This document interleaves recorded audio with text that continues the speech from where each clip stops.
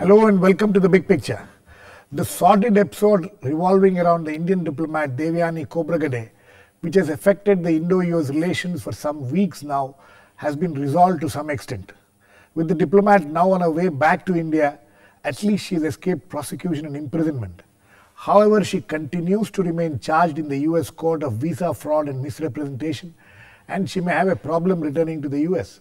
The entire episode has been a serious blot on the Indo US relations, and concerns are being expressed about its medium and long term implications.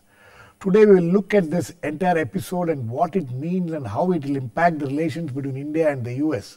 To discuss this, I have with me Pinak Ranjan Chakravarty, former Secretary, Ministry of External Affairs, Mohan Guruswamy, Visiting Fellow, Observer Research Foundation, Ajoy Bose, Senior Journalist, and on the phone line from Washington, D.C. is Chidanand Rajghatta, Foreign Editor and US Correspondent of the Times of India. Welcome to all of you. Mr. Chakravarty, this is this the best that we could have uh, got that you know she has been let off at least she has been uh, allowed to return to india this deal obviously has been worked out behind the scenes and it is a face saver from for all in my view and this was perhaps the best thing that could could be salvaged from this uh, episode and uh, because we have our colleague back in india or which we, she will be back the State Department can uh, now say that we've solved it, and the Justice Department will say that we have indicted her, so the case continues. And so it's a face saver on all and on Preet, fronts. And Preet Bharara can say that whenever she returns, we'll continue with that. Uh, he's in fact said so already. Yes, I already said so. Yes. So you think th this nothing better could have. There was a lot of uh, you know hope, there was criticism of the Indian government by some of the opposition parties that you know it was not handled properly. It could have been handled properly, and now it is a defeat for the for the for the Indian government. I don't agree with that at all because I think uh, once this once the legal process was set in motion, when the State Department somebody I believe somebody very senior must have signed on to it, and perhaps without thinking of the consequences and that it would generate this kind of a, a blowback, you know, the, so to speak. So I think once the process started and the legal process started, it was probably difficult for them to take it back. And that is the reason why it had to be sorted out this way. Mohan, Mohan you, have, you, you have some very strong views on this entire episode, but you think that this, is the this was the best way out? I think, I think it's the best deal, you know, uh, we have. And we have now asked the Americans to remove one equal ranking diplomat from here. Right. And so it's a kind of a tit for tat. It's like the old days, you know, when the, the CIA and the KGB kept expelling one for one, you know. So we're down to that. It's a kind of a Cold War situation also. Um, but I think, you know, we handled it badly. And I think the MEA in particular is very culpable for, for what happened. Because this thing has been going on since June last year. And the uh, MEA knew that this was hotting up. The problem with the State Department is they didn't tip off as to how seriously this is going to shape up. And they continued with business as usual and, you know, the usual bonhomie. And while all kinds of um, steps were set into motion, you know, including the Diplomatic Security Service, which filed the case and, you know, we started investigating and collecting evidence and, and, you know, they spirited away the rest of the family, did all those things, planned it all out. So that they ran a sting operation in a way, and that stings. But the fact remains is that this lady made a false declaration. If she didn't make the false declaration, she wouldn't have been in this trouble. And we are very cavalier on making this false declaration. And we think that it is a small thing. But, but she basically one said... One second, one second. Mr. Chakravarty, do you agree with him? The, the fault lies with, with the lady, with the Indian diplomat, that she made a false declaration. Otherwise, all this wouldn't have happened. I'm not so sure that there was a false declaration because there has been some controversy on some figure that has been mentioned somewhere, right. which apparently, according to some sources, is actually what she declared what she would be getting. Right. And I do not know. I have not seen these papers, so I cannot comment whether it was false or something. I have I have read the charge sheet filed by Mike Smith, the uh, DSS agent, and that was on the internet, and I picked no, it no, up. The charge and sheet very clearly says, is, is, very is, clearly is says. charge sheet the last word, Mohan?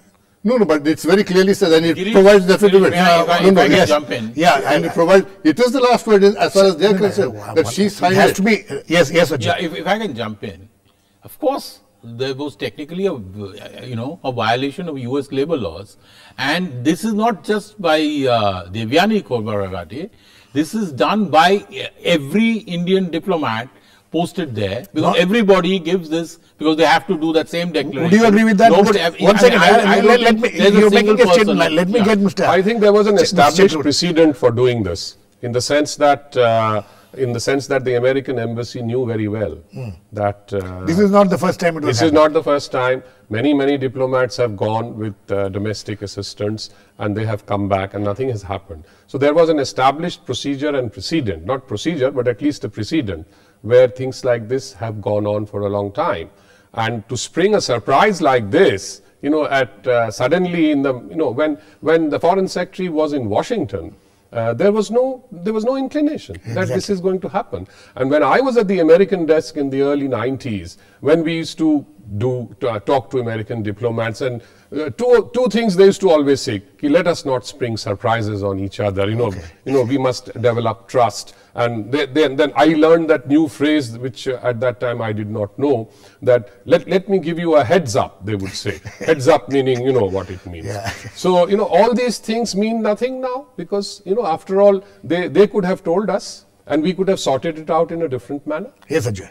Yeah, I mean, it's firstly, I think that uh, I certainly blame the government for allowing this so-called precedent, as Pinaki says, to continue like this, because you will always be vulnerable if the host country decides Right. to somehow trap you. But even more importantly, Girish, I'm just surprised that somebody like Sangeeta Richards was hired as domestic assistant, domestic staff, traveling on a official white passport when her in-laws, the Richards, have been embedded in the U.S. embassy, more specifically 5 Aurangzeb Lane, where a string of political counselors they've worked for.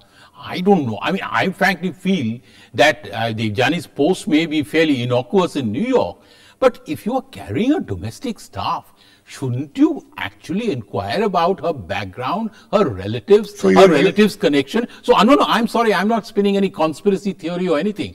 I'm just saying it's as a matter of form. I personally feel it's a high risk of carrying somebody who has such strong familial connections with the US Embassy in Delhi.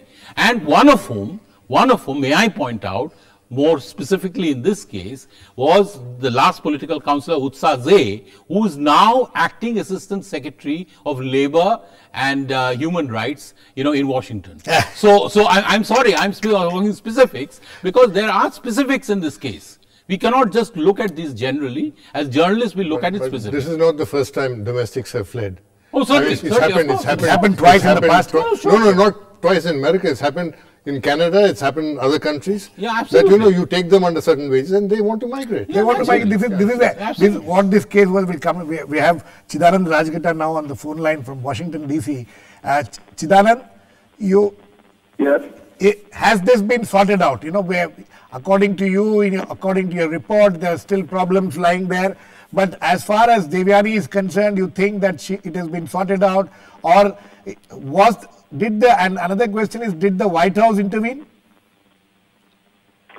Uh, I think uh, it, it's been sorted out to the extent that at least temporarily uh, both sides have, uh, you know, uh, tempered uh, this whole um, affair.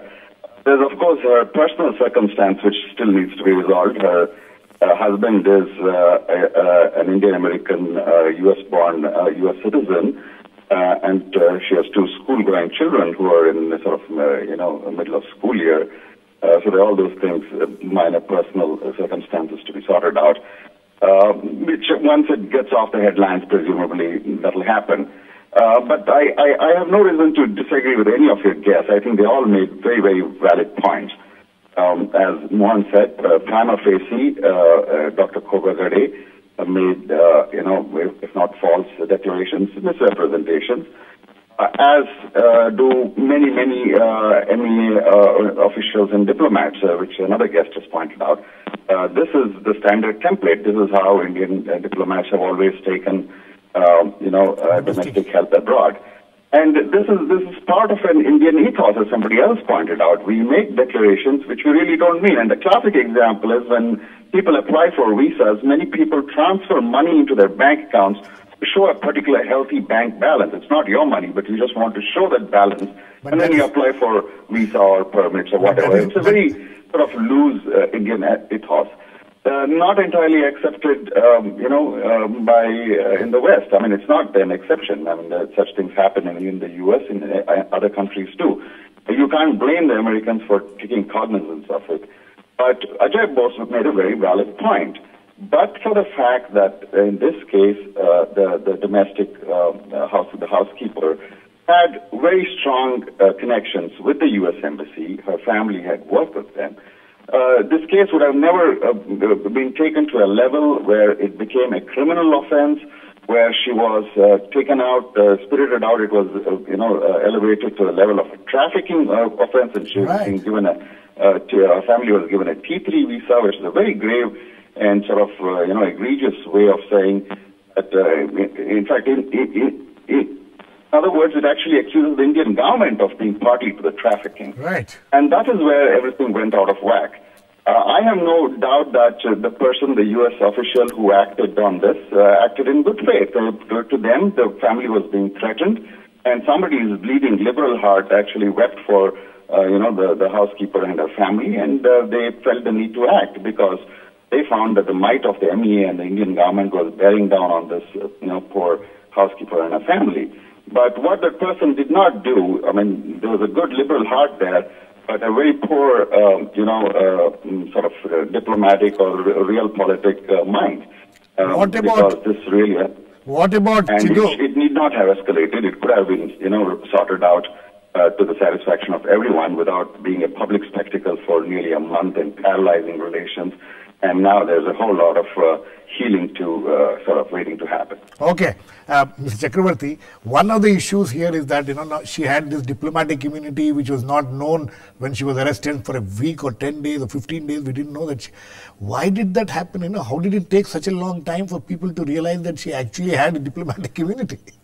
You see, when the General Assembly takes place, Yeah. a lot of officers are deputed to the United Nations. So a list must have gone, and her name must have been on the list as a deputy consul general posted in the consulate to help out the help out the Indian delegation. And then they must have forgotten about it. I mean, it happens. It, it happens. So when they when the She- case I mean, uh, it's, exploded, it's quite amazing that she herself also for, seemed to have she forgotten probably forgot herself. Yes, it's possible because then, or she may have remembered it and then brought it to the attention of the MEA.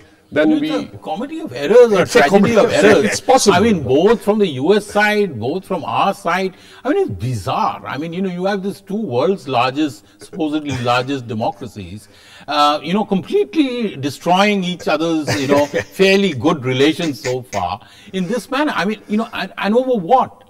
Over something which could have been handled in a so much more sophisticated manner. No, but uh, another thing, Mr. Chakravarty, what, what both uh, Ajoy and Ch- Chidu was talking about, this lady coming from the kind of background she came, with the kind of familial background she had, you think that is what has created all this uh, problems? I don't want wish to speculate on those issues which are you know which have a fairly you know strong political and other connections. But let me also point out what Ajoy was saying that it could have been sorted out much better, in the sense that quietly.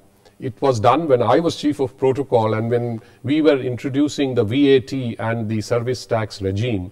Uh, we ran into a problem because we were unable to set up the regime fast enough. And the Americans uh, suddenly without uh, any heads up, as we say, uh, you know, withdrew all the tax uh, privileges that our diplomats and consulate uh, officials had in the U.S.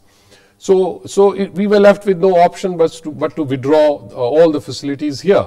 But, But nobody it- came to know. no, but Very nobody came to know because we sorted it out quietly. Now we decided that look, now the playing field is leveled. Okay, then then then we said, "Ki, okay, let's build up from zero. You will give us what, we will give you what, and things were sorted out within a few months.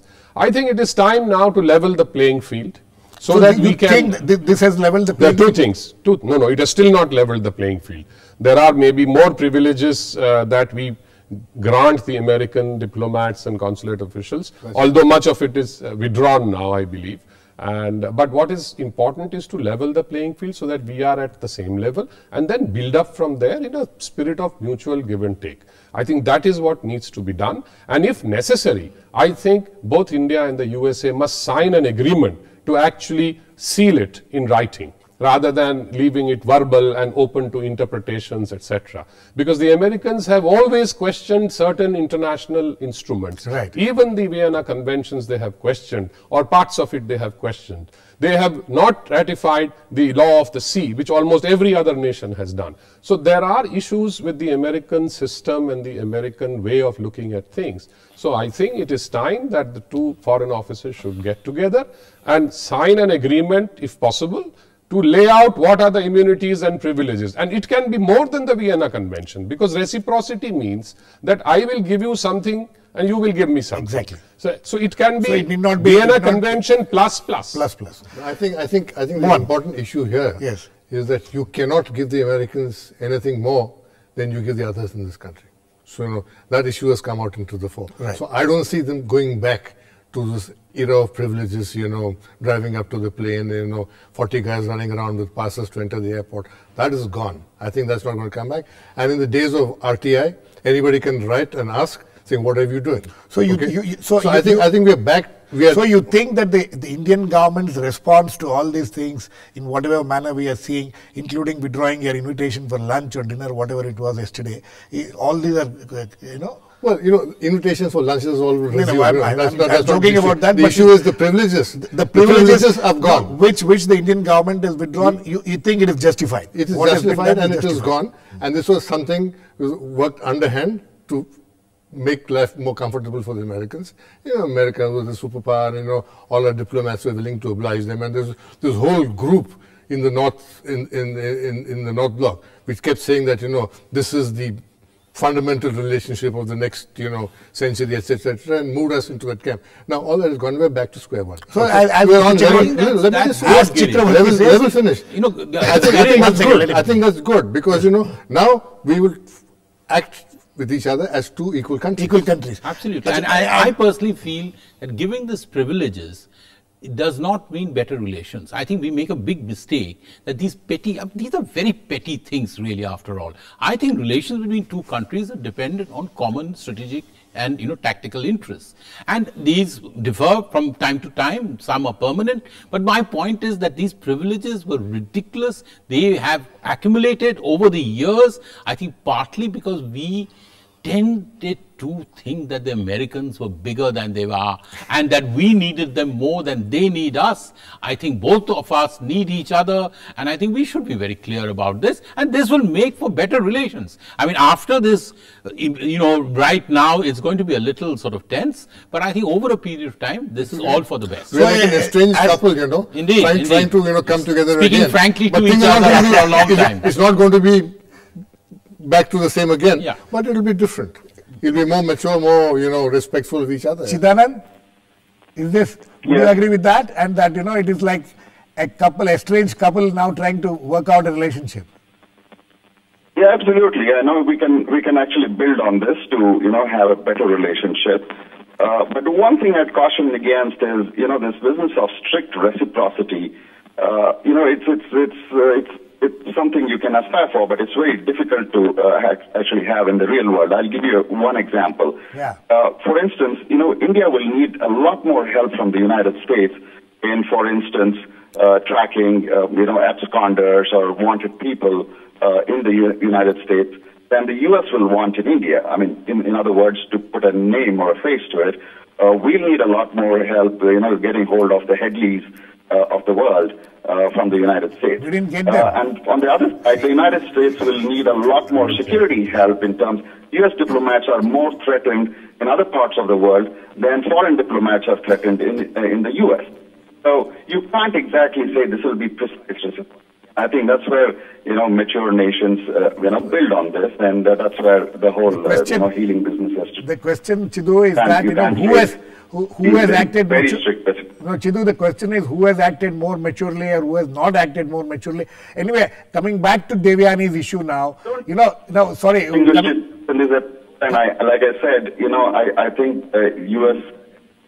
Delhi erred grievously. Uh, their heart was in the right place. Uh, I think it was correct on, you know, uh, they felt that the housekeeper's family was being threatened by the might of the Indian government, by the might of the MEA. And somebody should have factored in the calculation that by Okay. making a public spectacle out of No, no, uh, criminalizing Chidu- the off- Chidu, Chidu, and virtually accusing the Indian government of running a trafficking operation. Yeah. Elevate Chidu, one second. One second. took Chidu, one second. Now, what happens to Sangeeta Richard and her family? Do we conclude that she's not, she's going to be given some kind of a citizenship status there? The whole family will get, uh, will be able to, mi- will, will, will stay there and, you know, Indian government, Indian laws will be out of reach for them? Well, wonderful question. Yes. So uh, as as things stand, and in fact, I've been in, I've been in touch with Safe Horizons, the group which kind of sheltered her. Uh, it, it appears that she is going to get uh, a, a, a, a T1 visa. Her family has already got T, T3 visas, and so she is good to work here for four, for the next four years. And it'll naturally lead to a path of permanent, you know, residency and citizenship. The amazing part is, look, here's what it's, it's a lovely story. It could turn out anyways. Now, five years from now, ten years from now, you could walk into a New York restaurant uh, and find that it's owned by Sangeeta Richard and her husband, and they're millionaires. or you could be struggling with a nine uh, nine dollar seventy hour job, I'm sure, health insurance, Chidu, I'm you know, sure. which uh, family is broke and in misery and will lo- long very nostalgically for an Indian power which gives them great family protection, health care, a doctor on call Okay. anytime you want. Okay, I'm sure. I'm sure you will look forward to that day when you can write that story from from that restaurant, uh, Mr. Chakravarty. This, the, you know, the the as far as the maid and and her family is concerned, what do you think? What is the what are the options before the Indian government now? He says that you know they may get their citizenship or whatever visas they've already got. I think he's right because uh, they, they are out of reach now, I think, and there's not much the Indian government could do unless it wishes to follow the legal process. So it is something like this that you know. The, the US government is called you you forget about Devyani Khobragade and we will forget about Sangeeta Richard. Is that Well, the way not it really, not really. The US government hasn't forgotten about Devyani because the case goes on in court. Yes. And so that will continue and that will impact on Devyani's movements as well to some extent. But I was coming back to the point that um, the gentleman from Washington was making about, you know, that the US, uh, that we need the US. But here we are restricting ourselves to the domain of diplomatic privileges and immunities. Right. We are not talking about Richard Headley. We are not talking about you know the the C130 contract. David and Headley. things like David uh, Headley. Whatever. huh. so David Headley. Yes. Yeah. So uh, you know we are limiting ourselves to the issue of immunities and privileges for our diplomats and consulate officials. That is that is the short point. Okay. and I think I think the Indian No, I, I- one before I come to you, I want all of you to respond to this. Now, you know, what will be the impact of this entire episode on the Indo-US relations in the, say, in the short term, mid term, and the long term? I think in the short term, what would happen is that a lot of trust will have to be built up. Because we, a lot of diplomacy is done Because the energy trust. secretary's visit has been put off. Well, that has The been a casualty of this Assistant secretary was supposed to come here. She her visit also has been. No, I am confident that these visits will be restored and we will be back to, you know, talking business. That will happen because I think this this deal itself is a signal that you know we are looking at a process beyond the deal and we will be talking to them. I don't think I don't think that is going. There's there's no there's going not to be any break. But what I worry most is that there will be a lack of trust now. Yes. Because there people will say that you could have easily told us, and we had this trust. We used to compare each other, tell each other what's happening, what's not happening, what we can do, what we cannot do, where we will disagree, where we will agree. This was all done. But today, I think the Indian Foreign Office and all diplomatic colleagues, my, my, my erstwhile diplomatic colleagues, will think twice before be believing an American diplomat. Mohan? You I think, think- you I- think I- that's I- a fair assessment of I, what thi- he I think I think it's it's fair enough, you know, because uh, that is exactly what's going to happen now. You'll have to work your way through this, but we would be extremely foolish to pursue that Sangeeta Richards anymore. I think we should forget about it because we're going to look extremely stupid.